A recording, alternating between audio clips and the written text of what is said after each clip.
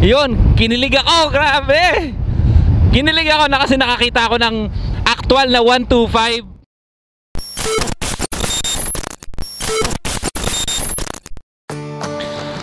Yan, so good morning sa inyong lahat. Good morning. Umaga po ngayon, kaya good morning muna bati natin. Pero sa lahat ng mga nanonood natin ay good morning, magandang umaga, magandang tanghali, magandang hapon, magandang gabi po. So dala natin ngayon ang isang Sniper MX King 150 ng Yamaha.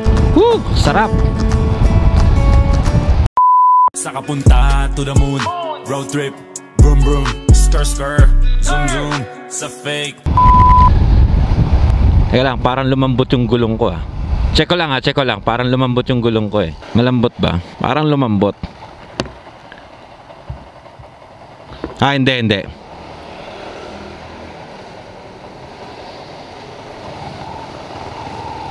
Sa kapunta to the moon Road trip Vroom vroom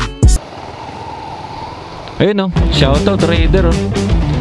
Raider 125. Suzuki Raider 125.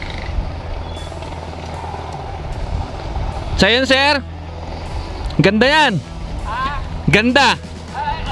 Antik na yan, oh. Tibay, no? Sige, sir. Tibay talaga ng mga Raider 125. Hanggang ngayon, antik. Buhay na buhay pa. Yun, kinilig ako, grabe. Kinilig ako na kasi nakakita ako ng actual na 125 ng Raider. Kasi bihirang-bihira talaga yan, guys. Na bihirang-bihira talaga. Ah... hintayin natin si Sir. No, hintayin natin si Sir.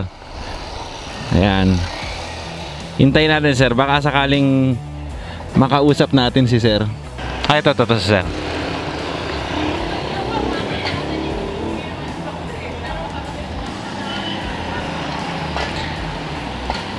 Bakit?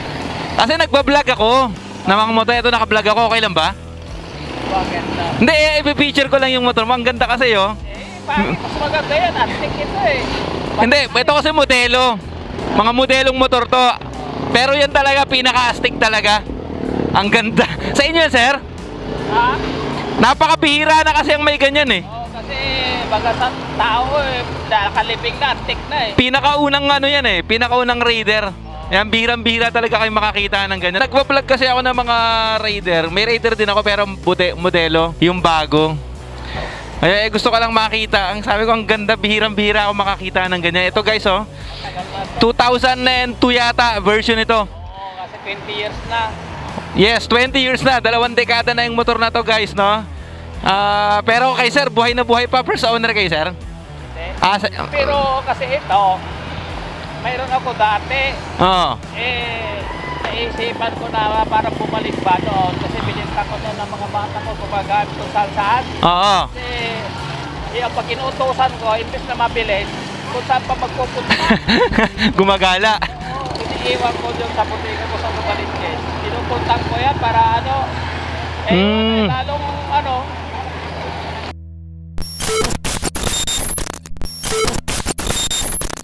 Natuwa lang ako kasi napaka-rare talaga ng motor na to eh. Napaka-rare. Antik talaga yan. 125 lang yan pero halimaw tumakbo yan. unang ano to, unang labas. Unang labas talaga yan, oh. Yan ang kinopya ng lahat ng mga underbow na pangkarera talaga. Ayan oh, pati ano niya, oh, stock talaga. Almost stock lahat, pati pipe. Pero yung pipe hindi na yan, yan yung dati. Bagong kabit na siguro yan. Sir, salamat ha. Salamat sa time. Ang angas, ang ganda. ingat sir, ingat, ingat. Pati yung ano niya, oh, yung ano niya, gauge niya, talagang antik na antik talaga. Ah. Pati yung pati yung nakasakay antik. Yun, oh. Kickstarter. Ang ganda, ang ganda. Pati disc brake niya.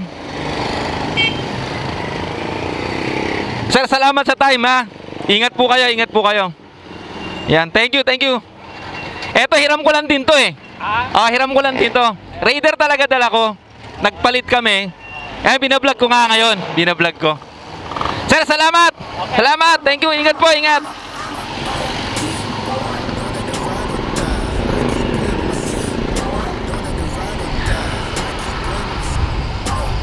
Yun, ang ganda. Yun, so napaka-rare na makakita tayo ng mga gantong klaseng Raider. Ah, Raider 125, no? Yung pinakaunang version niya ng Raider.